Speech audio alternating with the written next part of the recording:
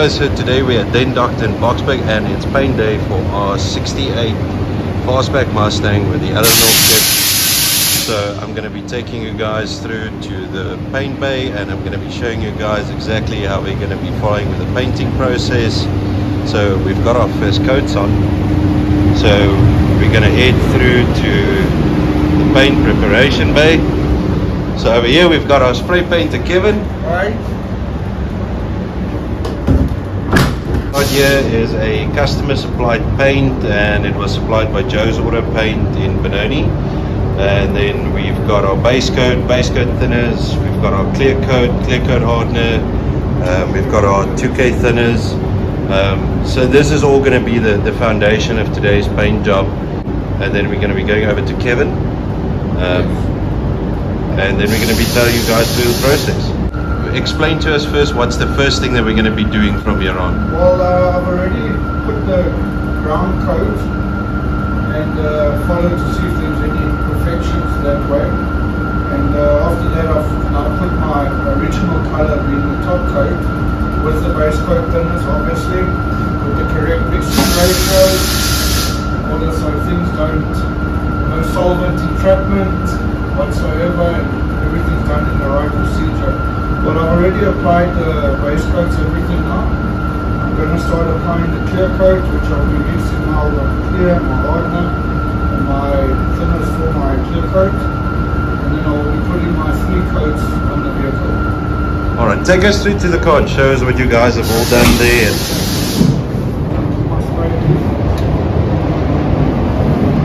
Okay, so now we're here with the car. So, yes, uh, I've now applied the, the finishing coat of nano already.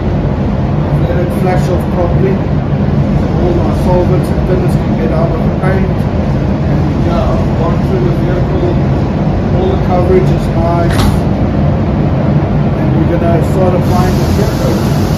alright, and then explain to us what all preparation have you guys done on it. Well, we so the car came from metal, so we started the process from from the bare metal.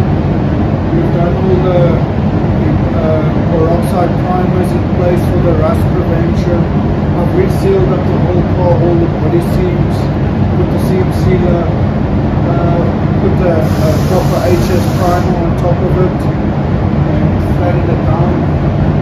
Yeah, and then I've put the ground coat like I stated earlier and checked if there was imperfections and this is where we at now with the top coat now ready to paint. Alright, so what are we going to be doing on from I'm going here? to start applying the clear coat now. I will be applying three coats.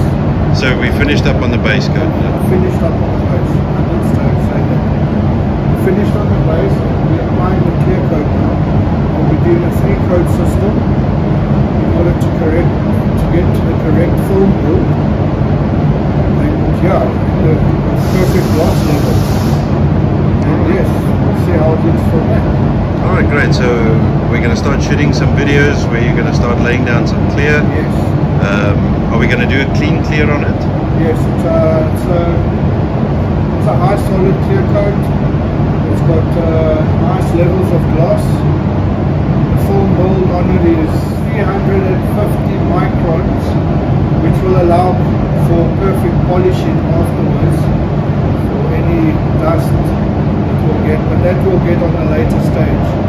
Right now we'll just take videos we applying the clear coat. I'll be putting first a drop coat and then I'll be starting to lay it a bit thicker wetter, should I say now, follow up there.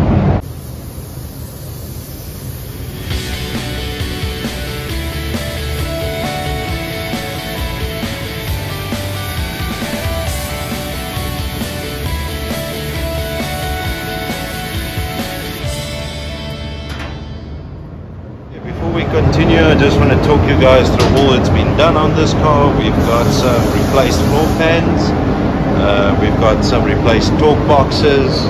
Um, the front frame was a little bit twisted, but we managed to iron that out and get that all straightened out. Work was also done by Dent Doctor here in Boksburg. Um, really phenomenal work that they, managed to do. And then the body kit was done by Resto. Um, so really, really great work from these guys as well. Um, they made the scoops on the top all bolt in for us. Um, so it's something that, that we can paint neatly behind and then go back from there and, um, and reinstall them. Um, so really phenomenal job by these guys. And the, the base coat is really looking good on it. Um, we've got our first red oxide primers just to preserve um, the inside of the car. Car was um, sandblasted to start off with, um, so that helped just to clear up any mess that there was on the car. Um, so from here on, uh, we're going to start laying down our first layers of clear, and then we're going to be talking to you guys through it from there. Okay, so we've got our first drop coat going down. So the drop coat is basically just like a almost a dusty like check coat that just basically helps to, to create the first bit of coverage. Um, what this does also is help to check for any imperfections, um, any possibilities of co- contamination and eliminating that.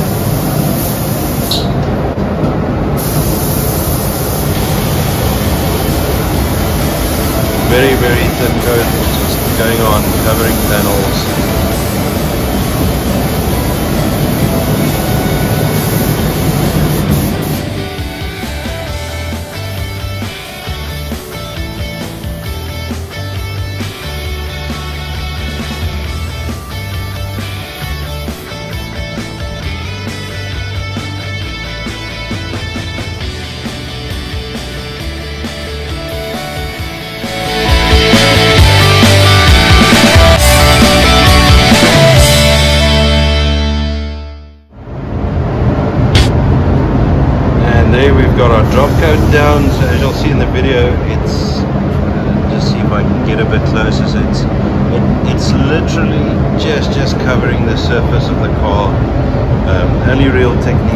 This is just making sure that you've got the same amount of coverage going over all your panels.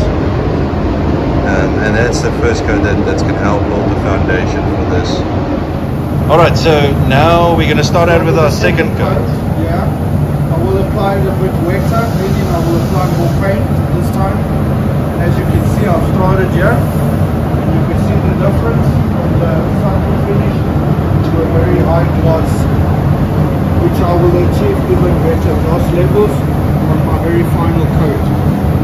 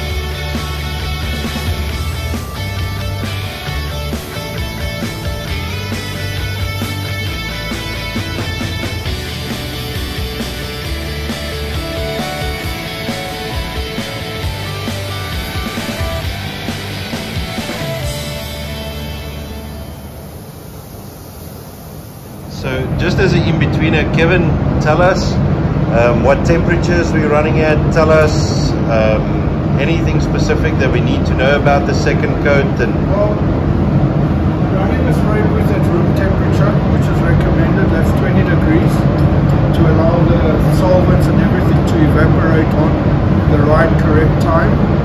I'm finished now with the second coat.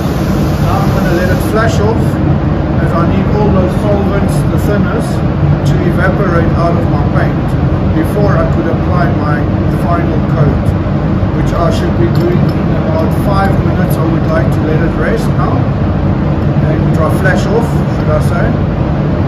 Uh, and then I will be putting the last coat where I will really be putting it quite wet. any specific techniques about the second coat that we should know? The second coat all is just to make sure that as you're getting, you're starting to start seeing gloss levels start appearing. So as you can see from my first coat, it was like a satin finish, and now with the second coat, you can actually see that the gloss levels are starting to appear now nicely. And with the third coat, it will give it that depth, and which will really highlight the color and magnify it. And with the right source of light, should look immaculate. Great. So then we're ready for our third coat and final coat now. So is there any specific techniques or anything that we need for final coat? Well, I'm going to be applying the clear coat uh, much wetter now. And uh, one thing that you always need to remember, you're always working with a wet edge, meaning I'll paint from the front side to the middle of the roof, and then back and then go to the opposite side, and start from the middle as that would be wet there still, and continue with it via the whole car, running with a wet edge the whole time, in order to achieve our levels of gloss and the, the right flow in the paint. So are we're ready for our final coat.